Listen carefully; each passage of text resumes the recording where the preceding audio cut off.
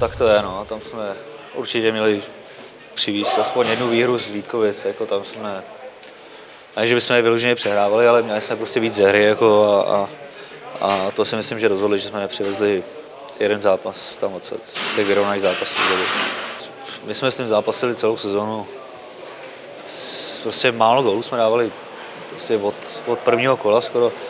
Říkám, my jsme dali čtyři, jsme dali čtyři, čtyři, čtyři zápasů pět gólů, takže jako více jak pět gólů nebo pět gólů a, a, a to nás prostě služovalo celou sezónu a, a myslím si, že i tohle rozhodlo tu sérii. Říkám, i ve Vítkovicích jsme měli víc střel, dvakrát jsme tam padli prostě a, a, dneska už dneska už nás vycvičili v efektivitě, takže asi tak. Tady to byla, já bych řekl, že jedna z nejtěžších sezon, co jsem odehrál, jako, říkám, ať už psychicky nebo to, že fakt jsme se od, od že bych půlky, půlky sezóny jsme se tak jako trošku trápili, nedokázali jsme vyhrávat právě ty stříletý góly a, a tím pádem se to na vás nabalovalo ty prohry a, a nakonec trošku euforie, protože jsme uhráli jako důležitý zápasy doma,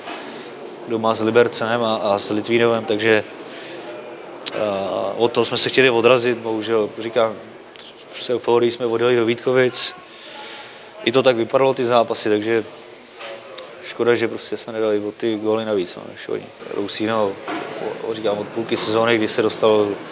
do sestavy a, a, a, a dostal tu důvěru, protože ta důvěra je fakt důležitá od toho trenéra, že, že fakt a můžete hrát jako ty přesilovky a pak hrál i v oslabení, takže tím pádem strávil hodně, hodně času na ledě a, a, a tomu jedině pomůže jako do budoucna, protože